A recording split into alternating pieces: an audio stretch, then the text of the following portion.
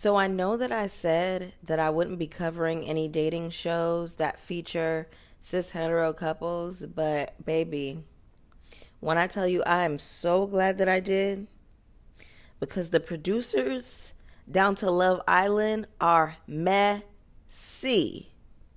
Let's chat.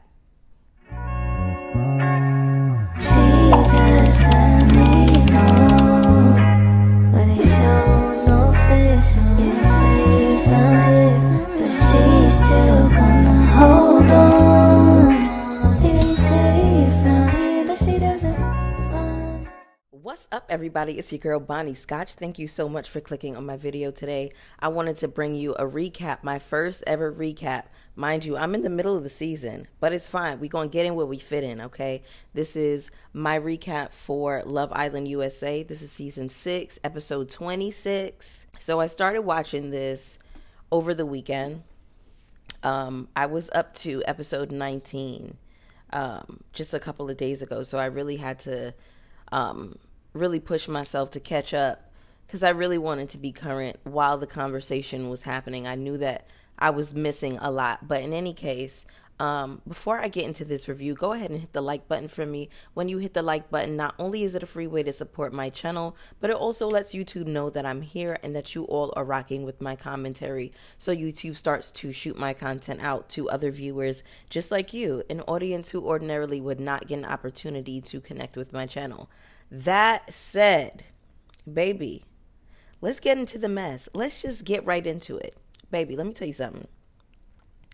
This is quality reality TV. Do you understand what I'm saying? Quality, quality, bruv. So good, so messy. Baby, them producers. You're no good, you're no good, you're no good, baby, you're no good. They ain't no good. Anyway, child, let me just get into my notes because it's definitely after 8 o'clock and I'm not used to doing things this late. I usually record in the mornings um, before my shift. With this new schedule, getting on this Love Island schedule, I don't know how I'm going to work it. I'm going to figure it out. But um, I know that a few of you all have asked me to look at this show, and I'm so sorry that I didn't look at it sooner. Something that I'm going to try to be better about as a reviewer, as a content creator, is when you all make suggestions at like the top of a season, I will at least give it an honest shot, even if it's not my style of thing. Because like ordinarily, I probably wouldn't watch a show like this. Um, I did look at Ultimatum. I looked at uh, Couples to Thruple, but that had like some queer couples in it. And what else did I look at? Other than that, I don't really watch a whole lot of dating shows. But I'm glad that I got in on this one. So here we go. Part one of movie night baby. The setup leading into movie night, the producers, I got to give y'all y'all tens. I have to give the girls the tens where the tens are due. Do you understand? The episode before, for the episode before to be the social media games, where it's kind of like pulling in these tweets and having them fill in the gaps and guess, you know, who who the people are that the people are tweeting about. Baby. Anyway, and then before I fully get into this recap, something that I kind of wanted to touch on is all of this talk since the most recent recoupling about testing relationships. I have a very big issue with it because this is something that I only really hear the men saying. Only the men are the ones who are like, let's test the relationship. This will test the relationship. Can I just say something before I fully get into the review? There are so many factors. There are so many things that are going on outside of your control at any one time that can and will test your relationship. If you have an overbearing mother that's going to test your relationship. If you're a workaholic, that's going to test the relationship. If you're possessive, if you're controlling, if you're jealous, that's going to test the relationship. Literally anything can test the relationship without you bringing a whole person, a whole human being with feelings, mind you, into a situation to test a relationship. So that's where I want to call BS with the men.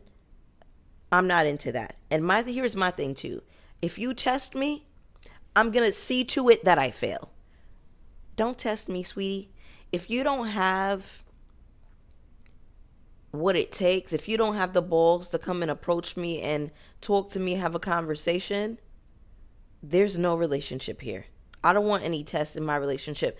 In my relationships, there are already so many factors, so many things going on that can test a relationship. That being said, let me jump into movie night, episode 26, darling. Okay. So, we start the episode with Aaron gaslighting Kaylor about joking about getting in the shower with Daniela. Girl, so Kaylor has been working my nerves for quite some time with all of this crying, all of this carrying on. It's a lot. It's a lot. I feel like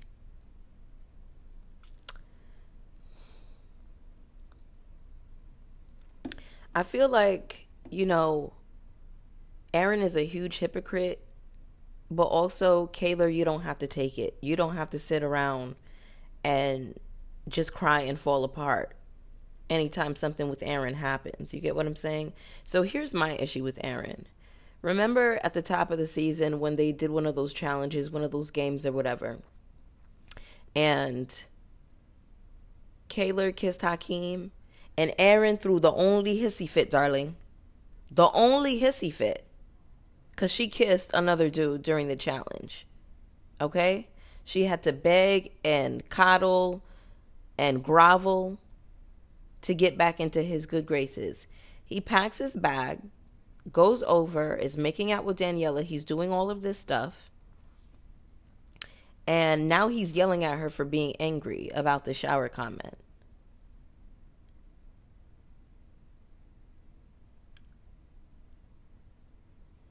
men are good for that. Men are good for flipping some shit on you. I remember I had an ex and I had this um actually back in the day I had a blog once upon a time. I had a blog. Shout out to Blogger, shout out to Blogspot and Live Journal and all the girls who had blogs back in the day. This is like circa 07, 08, 09, like right before Twitter, right? Anyway, I had I wouldn't say it was a popular blog, but every so often I would be in the city or out in Brooklyn somewhere and legitimately people would be like, "Oh my god, I read your blog." So that was kind of wild to me. In any case, I get an email one day after I posted some pictures of me and my ex on my blog talking about 4 month anniversary. I'm so happy, blah blah blah. This chick emailed me and was like, um, I effed your man. So do with that what you will. I confronted him about it. Not only did he lie, but he gaslit the hell out of me. And to the point where he was like, I'm getting angry because you keep bringing it up. Mind you, I knew I knew that like nobody would make it up, but I really at some point like I I let it go, like I can't remember. I think I just gave up. So, of course, we broke up, we fell out, whatever, whatever. Child, when I tell you seven years later, he admitted that he was cheating girl who read my blog and she worked at the Wingstop a few blocks up the street from me. Now, here's the thing about that that's like extra scandalous. I lived around the corner from the Wingstop and I used to go to work in the daytime, so I'm sure he brought her into my house to cheat. But that's what Aaron was giving me. Like, you're caught in this lie, you're caught red handed, and now you're going to flip it and get angry so that you don't have to be accountable. Been there, done that. And you know what? I. Something that I have to remember is that these people are in their 20s and there are a lot of very silly decisions being made. And honestly, same. I I made some bad choices in my 20s in relationships, with men, with women. Shout out to my bisexuals, honey. Messy bisexuals, we clocked in. I'll just say that. That's what that reminded me of. Anyway, um, what else do I have here? Kenny. Kenny always looks sleepy and not present. Like he doesn't even want to be there. Does anybody else get that vibe from Kenny? And also, is it just me or does he look like Na- Naomi Smalls? Are you all familiar with the drag queen Naomi Smalls? I don't know if somebody else has mentioned this. I haven't been in the hashtag until like today. I really got on Twitter to see what people were saying today. Janae. So Janae kills me with this pick me stuff that she does. I like Janae, but I remember I was frustrated with her when she cooked eggs three ways for Miguel and interrupted Serena's conversation and she still didn't get chose. And now you're telling this man, oh, but who's going to cook for you and clean for you and change your oil? It's like y'all don't even know these men and y'all be so willing to jump into laboring yourselves out. I don't know. Like something about that is just very strange to me. Like whatever happened to like letting a man earn his his spot, earn his keep. You don't know if he's husband material. You don't know that. You don't know what type of husband he will be. You're jumping to give yourself all this labor. Whatever happened to like I know the girls are like all about the soft life right now. Whatever happened to that? Y'all off soft life now? Cause it's giving maid life, and I don't like it. Like y'all are too pretty for this. Anyway, Rob is talking some sense into Aaron. Aaron drops the L word on Kaylor and she returns it. I don't know. Something about that just felt very manipulative to me. Okay. Now, Liv is upset with Kane because he didn't speak to her about, you know, wanting to make a connection with Serena. Understandable. Liv has been through a lot in the house in the same way that Jane, um, Janae has.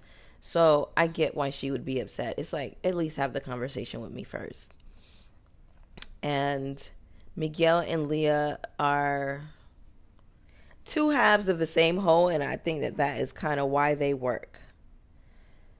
Miguel is a player, he's all over the place. I really feel like Leah is in her own world and all over the place too, and I feel like that's why the chemistry between them makes sense. I have not liked Leah with anyone else outside of Miguel. It's like his even like his continence, his face kind of changes when he speaks to her. Did anybody else notice that? His face visibly like it looks softer when he's talking to her. I find that so interesting. All right, so what else do I have here? Leah is saying she likes how open and honest Miguel is. You know, I don't feel like Rob ever really lied to Leah. Can somebody like get down in the comments with me and tell me like if I'm wrong about that? I feel like Rob always said he wanted to explore other connections and she just didn't like it. So I'm just wondering now like what what really is the difference? Anyway, the house is waking up at this point and Cordell rolls over. He tells Daya that he wants to have a conversation with her. Daya's like, "Oh, I want to speak to you too." she runs over to Serena to tell her, "Oh, I'm about to break up with him first because I'm petty. I think he wants to break up with me." Sister, here's the thing about Daya. Her energy was always weird to me. I have a thread on Twitter. If you go on my, I know it's not called Twitter anymore, but follow me on Twitter at Bonni Scotch. Same handle. And I have threaded all of my thoughts about Love Island, and I literally said either di- like something is off about Daya or something doesn't sit right, or I like I said something about her like it, she just wasn't gelling over for me. And I feel like it's because she was coming on too strong. She was so gung ho about Cordell that I was like, something's funny about this. It wasn't even like she named more than one person that she had her eye on. It was all about Cordell. And I was like, my eyes got squinty. All right, what else do I have? So yeah, she tells Serena that she's about to break it off. I'm like, why are you telling Serena this? It just struck me as a little bit pressed, a little bit corny. I don't know. It doesn't make sense to me because it's like, girl, you were willing to get strung along this whole time. Now all of a sudden, like, what's the issue? I feel like the real issue is that Daya was called out in the last episode about being a clout chaser and the comments that she made in Odell Beckham Jr.'s comments. And then he asked, or she brought it up, and she's like, oh, well, you know, my ex had dinner with him, and if I made a comment, it was on my ex picture, and she had all these details, and I was like, whoa, whoa, whoa, okay, okay. We know what it's giving, sis. Like, you you came here for your reason to get close. And I looked it up on Twitter. I literally looked up Daya. I was to type up Daya Odell. And literally, Daya Odell came up. And somebody had posted some screenshots of her in his comments and likes and whatever like that. So it's like, girl, I think you're embarrassed because you got called out and now you're trying to save face. Because the whole time you were willing and ready to be like that puppy, that lap dog, that wait around girl. And even before the situation happened, I was saying to myself, I was like, Daya needs to hang it up. Like, I'm sorry. I am not waiting around on no nigga, on no man to make a decision about a woman that he likes more. True story. I know I keep soapboxing. There was this guy that I was dating. I was in my early 20s at this time. We, you know, we met. It was cool. We had a, a great first date, one of the best. Um, you know, we used to meet up, link up, whatever.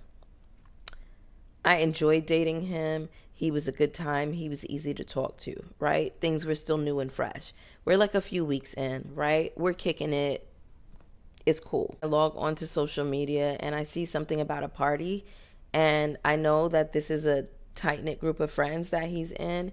And he had just got out of a relationship with this girl, and I knew that she was going to be at the party. So I log onto Instagram or Facebook or whatever what it, whatever it was, and I saw pictures of her at the party, and I knew that they were going to get back together.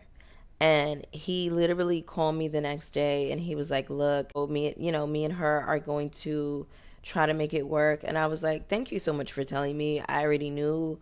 what the situation and the story was, but I just respected and appreciated him so much for just being straight up. And I let it go. He and I are literally still friends to this day. He's married. Of course, he's married. He's a super cool, chill guy.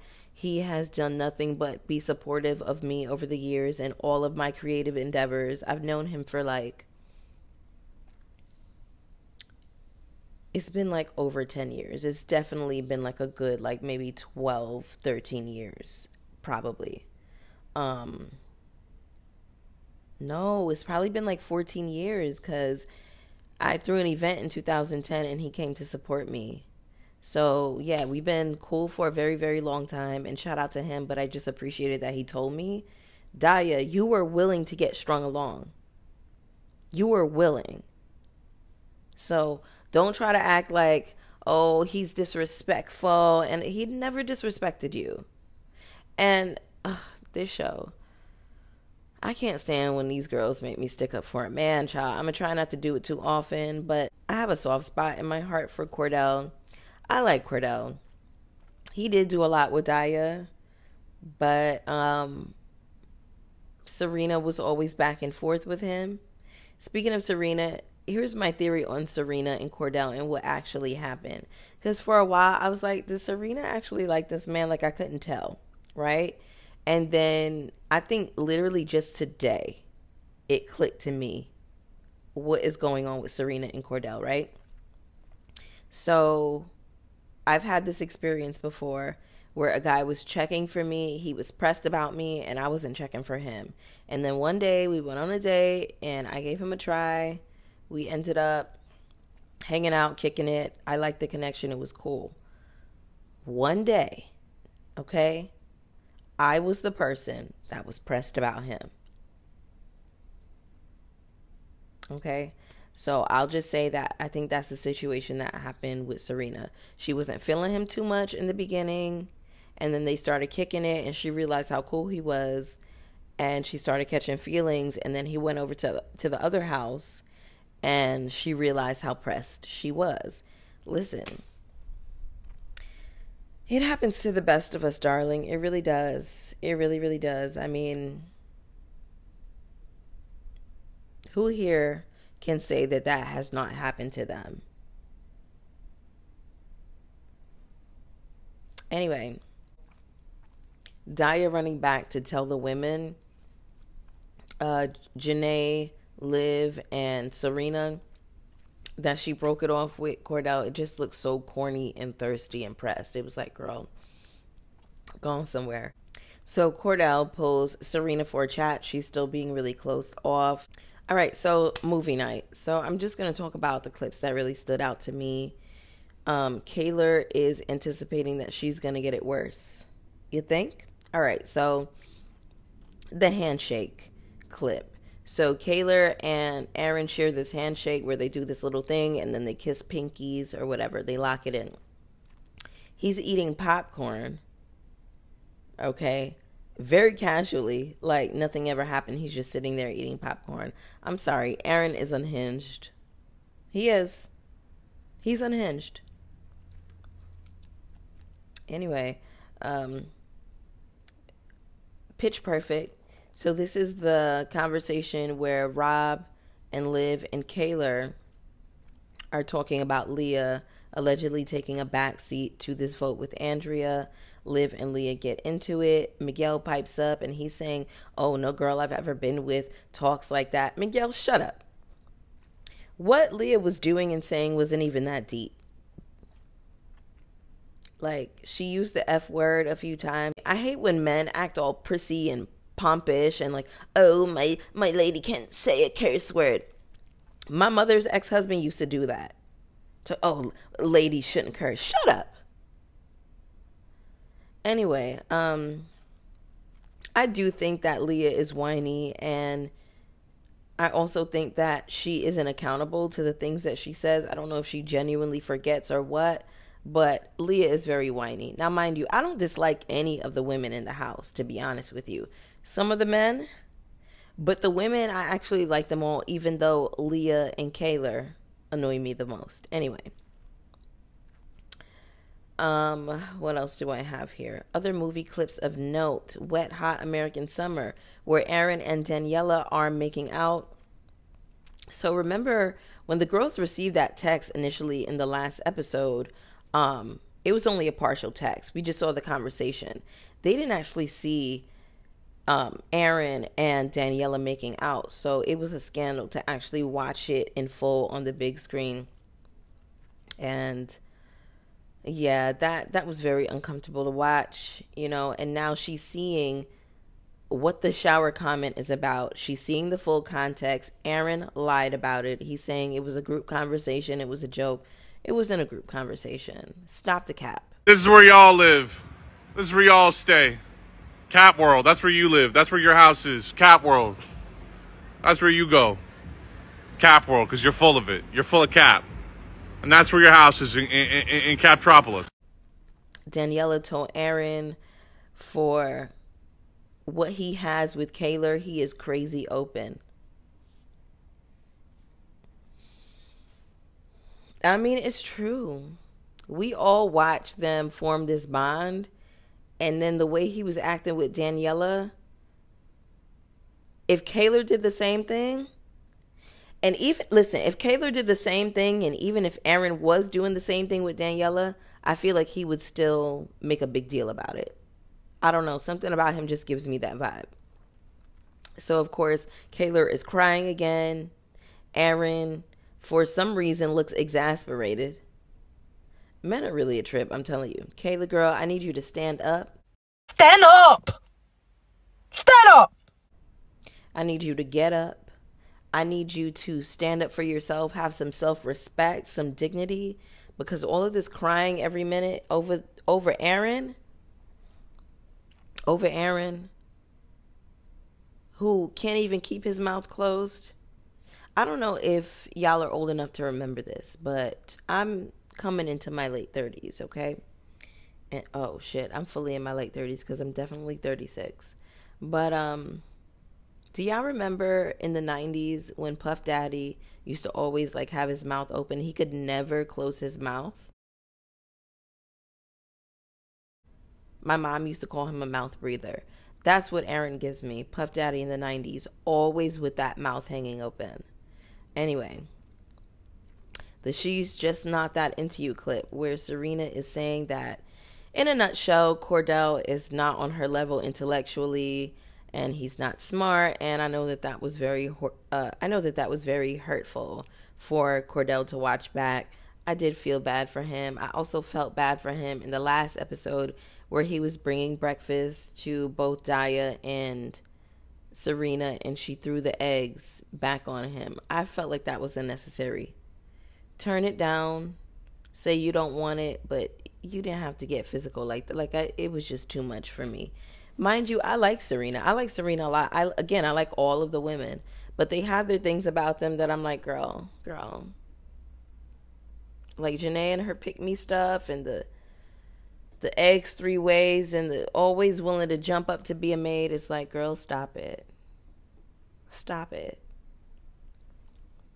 anyway the next movie clip when leah said that she got the ick from rob crying i also didn't like the comment that she had about him acting like a bitch um i feel like men should be able to show their emotions and their vulnerability i feel like when they don't it is just processed as rage I need for men to have a deeper range of emotions than just rage. And I need for us women to enable that wherever we can. Let the man cry. Now, yes, was it was it C U N T dramatics when he went and jumped in that pool? Absolutely. Absolutely. It was a lot. It was too much. But also the crying and the rolling around on the floor. Rob, Rob.